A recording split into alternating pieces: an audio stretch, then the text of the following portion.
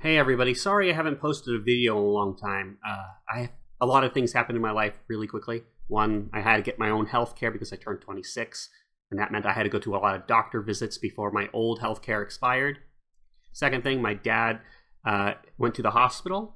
He's fine. It was a false alarm, but it was really scary. I had to do a lot of chauffeuring, and so that took up a bunch of my time.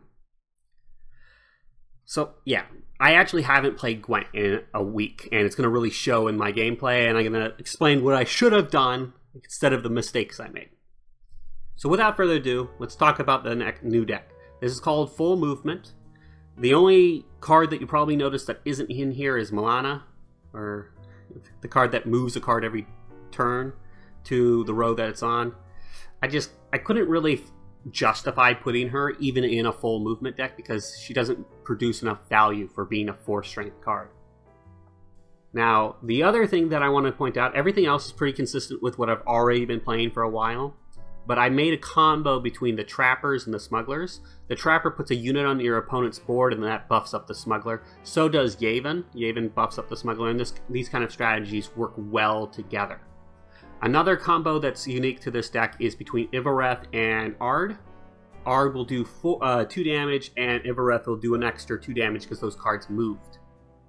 I think Ivareth would be a lot better if he also buffed up your own units, but as it stands now, he only damages your opponent units when you move them. And there isn't very many times when I want to move my opponent's units except with Aard and occasionally with Zoltan. So, without further ado, we're going to go into a game. My first game's against another Eithne. I already have a clear idea what I think the Eithne play is going to be playing because when the meta snapshot comes out, people already know what kind of decks they're playing. You might also notice that I am playing with a keyboard and mouse. That's because my controller is broken. I really do not know how you guys play with a keyboard and mouse. It is so clunky and horrible. Yeah, I know exactly what deck I'm up against. It's like, uh, it's that person who won that tournament. He got uh, points for that. Um, he he he made this kind of control Eithne deck. It has lots and lots of scorches. I completely forgot about the scorches later. I'm right now. I'm just focusing on how do I use a keyboard and mouse again for this game. Uh, you might have noticed I put the officer and I moved his unit with it. That's because I'm thinking of lacerating instead of getting the points from the Blue Mountain Commando. Or with the uh, Trappers. So I'm going to use the Trappers right now to get some value. Usually you would wait a little longer to do this, but. I'm getting a lot of value out of these Trappers right now. Movement does pretty well against this, but here you see I made a big mistake. I put myself into Scorch range. And I could have avoided that had I waited a little longer.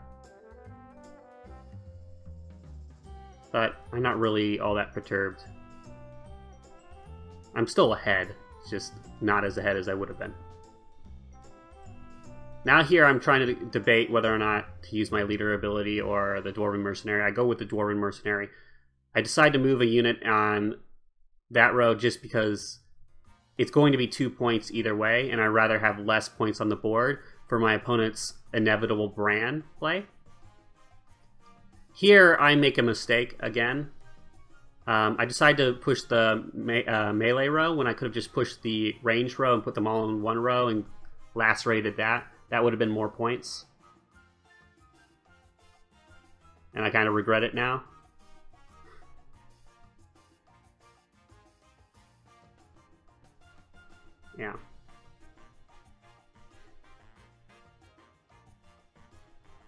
I decide not to go for the last rate because I thought I wanted more deck thinning here, and that was ended up being fine.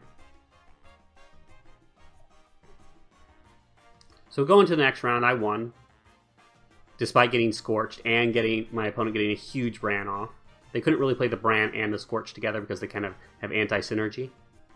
I'm actually happy I drew my other Dwarven Mercenary here. I, it's the only other Dwarf in the deck that I can pull with Barclay Elves.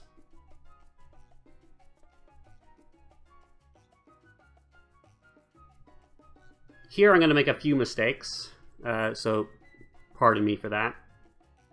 So I open up with Barclay Elves, which is fine. I want to see if I have anything I can hit with the uh, uh, Ciaran. Here, I should have played the Ciaran instead of the Zoltan, because I already know that my Yaevinn's going to die to the Scorch. Here, I'm kind of moving this into that row just in case he has an Igni. He doesn't, because I already know he has a Ciri Dash, and I win by four points. It was a really close game. I made a bunch of mistakes, but didn't matter against that deck. My deck's flexible enough to handle it. Now we're going into the next game, seamlessly. Uh, we're up against one of those Aridin decks everybody knows about. My deck has kind of benefits against the weather decks because I have weather removal. I think I do a lot better in this game. So he has a lot of tokens. He's also going to have a lot of weather. I'm going to remove his weather with the uh, officer. I move his uh, elemental or uh, his golem out of that because I'm not going to be able to damage it anyway, so it doesn't really matter. I don't clear the weather yet because I'm fairly certain that my unit's going to survive and because I want to clear two weathers simultaneously. Two birds with one stone. Is the fact that since he's putting up so many units, he's buffing up my smuggler a ton. And because my smuggler got damaged by the weather, it's not as big as it could have been, uh, which would have been dangerous against the Becker's Twisted Mirror. Becker's Twisted Mirror is one of the strongest guards in the game.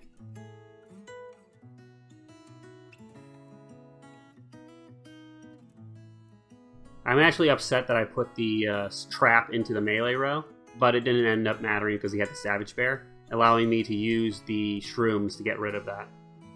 Uh, his hyper buffed unit that got from the Becker's Twisted Mirror.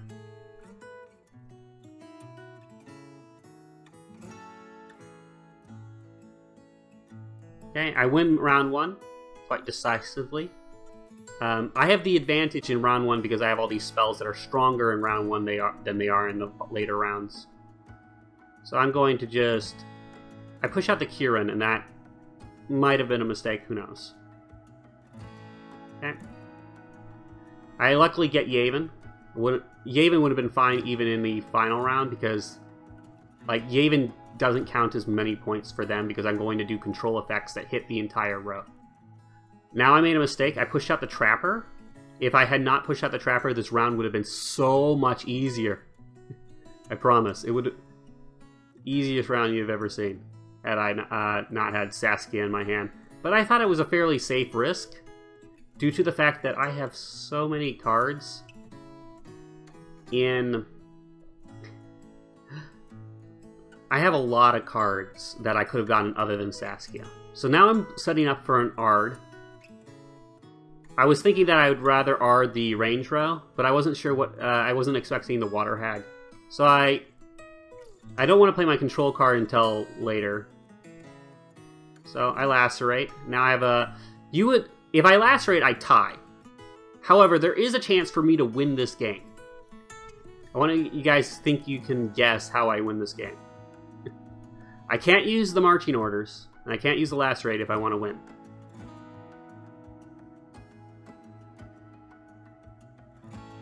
The only way to win is with Trapper. I got it. Good.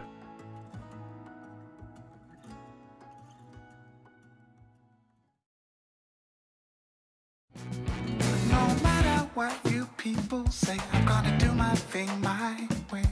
No matter what you people do, I'm gonna do my thing much better than you. No matter what you say or do, oh boy, you're out of luck.